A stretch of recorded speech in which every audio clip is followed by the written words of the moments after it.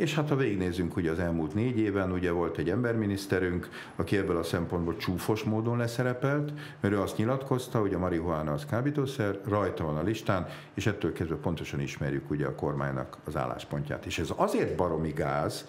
mert akkor rendben van de akkor vonjuk ki a morfint és a morfin származékokat is a terápiás protokollból, vonjuk ki mondjuk a, az egyéb más, például az újfajta eszketamint, ami egy antidepresszáns gyógyszer néhány hete került be ugye Magyarországon is a finanszírozott körbe, ami egy kvázi hólyagbarát ketamin, ezt is vonjuk ki akkor a terápiából, és akkor nézzük meg, hogy akkor tulajdonképpen hogyan tudunk már egy műtétre egy beteget elaltatni, hogyan tudunk fájdalmat csöpni. Sehogy.